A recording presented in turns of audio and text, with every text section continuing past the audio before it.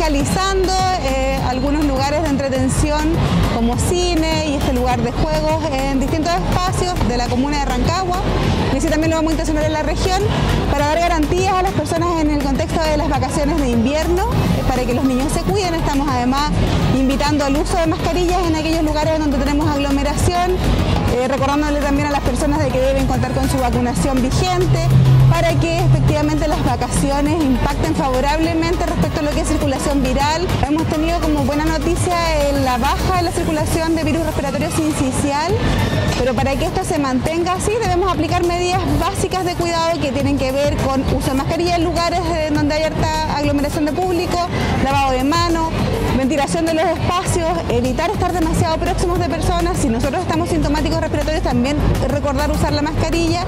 Así que vamos a seguir en esta línea trabajando para corroborar que las condiciones sean las óptimas para el cuidado de la salud de las personas.